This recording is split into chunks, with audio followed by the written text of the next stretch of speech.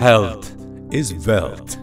This old saying has propelled us to think, innovate, and initiate something remarkable in the field of primary health care. Screening services.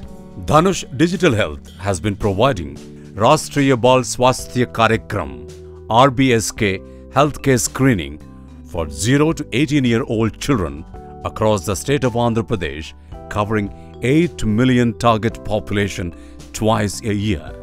The services included under RBSK program to screen and detect the health conditions related to 4 Ds which are defects at birth, diseases in children, deficiency conditions, developmental delays and disabilities with the help of mobile health teams and referral management at the specified public health institutions.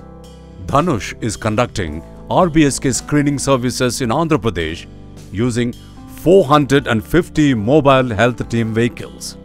Each mobile health team consists of one male and one female doctor and two ANMs and one driver.